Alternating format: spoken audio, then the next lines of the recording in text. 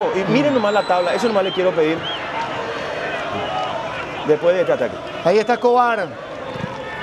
Mira la tabla de posiciones. Le, le presionamos a nuestro Paraguay 2 en el cuarto, el quinto, el sexto, el octavo nuestro de un torneo de 10 y clasifica a Ah. Sudamericana. Menos este año, que va el campeón de Copa Paraguay, el de intermedia. Acá está, estos somos. Pero ¿sabés qué pasa? Después juega Libertad con Bragantino. Sí. Y decimos, ¿cómo Bragantino? Mira Bragantino. Es un equipo que está cuarto, quinto, en un campeonato brasileño, que tiene saldo positivo Sí. de 10, 12 goles a favor. Positivo, quiere decir que marcó 40 goles. Y nosotros le decimos, a veces clasifica eh, Deportivo Luqueño o Sol de América. Nuestros equipos clasifican con saldo negativo a esos torneos. Los equipos paraguayos que van a la Sudamericana son equipos que en el torneo se defienden, que están Sí. acostumbrados a recibir goles, no a marcar. Y nos vamos a jugar contra el séptimo, el octavo de Brasil, que vos mirá, y están acostumbrados a hacer mil goles. Bueno, tiraron algo. Amonestado bravo. Vean, de manera que el tamaño de su pantalla me cansa ahí. Aunque para qué.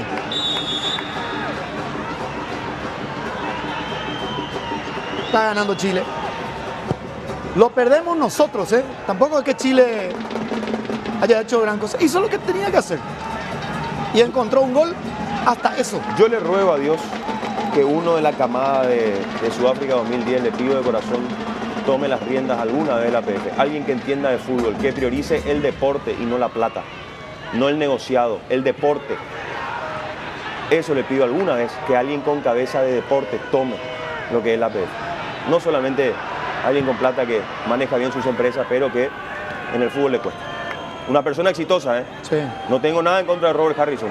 Un tipo exitoso, un genio en las empresas.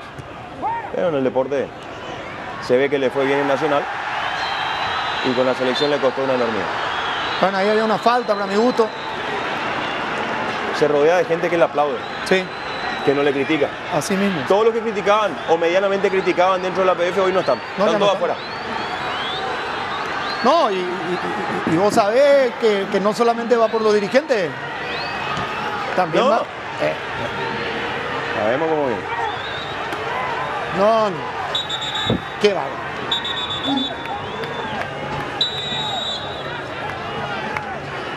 Bueno, tiro libre para el equipo paraguayo. Va a ser lo último. Ahí está Oscar Romero. ¿Qué? El rebote otra vez. Uy. No, no pasa nada. Posición adelante. Parecemos precolar, sí, precolar A. No, Entra precolar. ni, ni- ni la escuela de fútbol no se juega así. Lamentable. No, madre. Y ahora y, y, y, y Barrio Esqueloto que dice, bueno, ¿qué va a hacer también no, todavía? no, que va, no, no. Bueno, Cuatro días entrenó para este partido. Cuatro días. ¿Qué le vamos a caer a Eduardo Cepelín? qué bárbaro. Ya.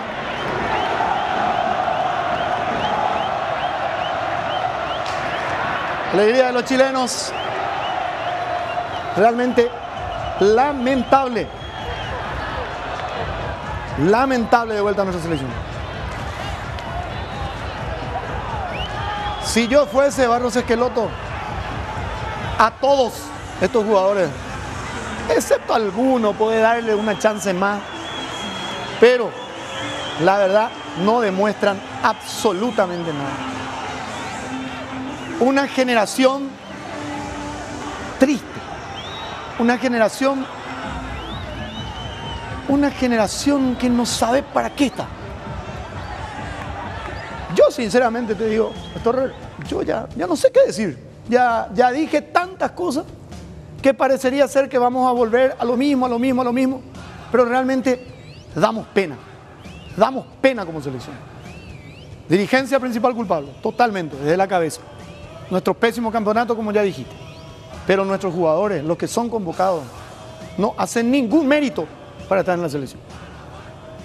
Yo la verdad, la gente aplaude en redes sociales que nos plagueamos, que decimos las cosas. No, no da gusto estar acá. No. En este momento no da gusto estar acá, de verdad. De verdad. Y, y no es fácil estar acá. Para alguien que ama el fútbol, no, no es fácil ver esto que acabamos de ver. Y no es lo esqueloto, te, diría que no es ni siquiera Berizo. ¿eh? Acá la cosa es de arriba. Es una vergüenza. Te voy a, te voy a sumar algo más nomás. Sí. Porque de verdad que quiero ir a casa a disfrutar de mi familia, si es que se puede, de comer algo, de tomar algo como para ir a dormir y mañana arrancar un nuevo día laboral. Fíjate que de tres equipos que subieron a primera, bien, mérito deportivo, aplaudo. Sí. Dos de ellos no tienen cancha. No tienen cancha. Y puede haber un tercero, que es Ameliano, Sí. que si sube, voy a aplaudir que suba Ameliano, tampoco tiene cancha. Y el problema no es de Ameliano, de Resi ni de Tacuarí. El problema es de la PF. Totalmente. Porque la intermedia es un torneo bananero. Porque la primera de ascenso es un torneo de arreglo. De clubes que no quieren subir. Que representan votos para el presidente de la PF.